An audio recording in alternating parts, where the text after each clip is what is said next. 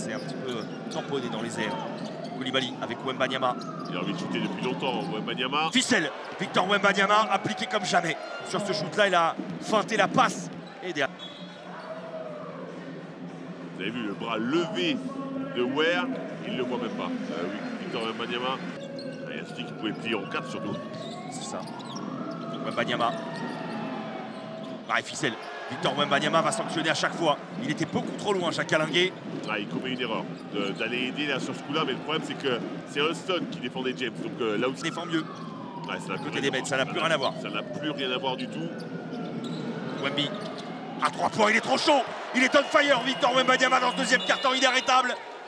Il n'y arrivait pas forcément à l'intérieur, alors il s'est écarté. Et il a surtout ajusté la mire. Personne ne peut stopper Wembanyama quand il se...